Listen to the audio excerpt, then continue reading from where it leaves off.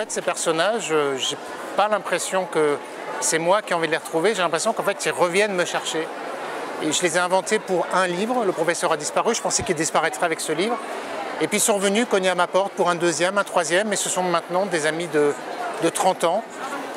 Et chaque fois, j'ai l'impression quand je les retrouve qu'on reprend une conversation qu'on n'avait jamais euh, cessé d'avoir, une espèce de conversation secrète. Ces trois personnages, Pépé, Rémi et Mathilde, sont vraiment des personnages de comédie. Et je crois que comme les personnages de comédie, ils ont des traits un peu exagérés. Chacun joue sa partition. Et j'aime l'idée qu'en fait, on puisse associer trois comportements, trois caractères euh, opposés, qu'entre défauts et qualités de l'un et de l'autre, on constitue une équipe solide. D'un côté, le vaniteux, mais hyper intelligent. De l'autre côté, un garçon un peu plus cancre, plus paresseux, mais hyper courageux, partageur. Et puis une fille qui apporte raison, euh, sobriété dans tout ça, qui est capable de remettre de l'ordre. Ça fait un, trio que je trouve un trio gagnant. J'ai l'impression qu'en fait, Pépé Cuvert, Rémi et Mathilde, c'est un peu moi, que je me retrouve dans ces trois caractères. J'ai une petite préférence personnelle pour Rémi, mais euh, je suis un peu Pépé. Je crois qu'on est tous, euh, à certains moments de notre vie, très fiers de ce que l'on est. J'aime aussi la raison de Mathilde, j'aime organiser les choses avec les gens, j'aime rétablir de l'équilibre, de la paix.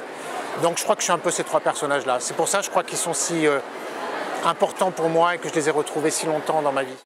Être auteur et éditeur, pour moi, c'est deux activités qui sont complémentaires. J'ai l'impression que mon travail d'éditeur m'amène à lire des auteurs qui euh, écrivent, que j'admire, qui m'impressionnent, qui m'apprennent beaucoup. Et qu'en même temps, moi, en tant qu'auteur, je peux leur apporter dans l'aboutissement de leur livre la petite touche euh, du cuisinier, parce qu'on parle ensemble cuisine parce qu'on sait faire les uns et les autres, on sait mettre la main dans la pâte et voilà. Donc j'ai l'impression que c'est très très complémentaire et que ça me ça m'encourage à avancer et ça m'apporte ça beaucoup. Moi je, je, crois beaucoup à la lenteur. J'ai l'impression que notre monde va trop vite et que prendre le temps, s'installer dans le temps long, c'est important, et en particulier pour le domaine qui est le mien, qui est celui de l'écriture. Laisser les choses se décanter, laisser les choses infuser, revenir incessamment à son texte, réécrire, reprendre, euh, et ensuite, quand le texte est fait, le laisser reposer en cave. Je crois que c'est la clé de l'écriture d'un bon livre.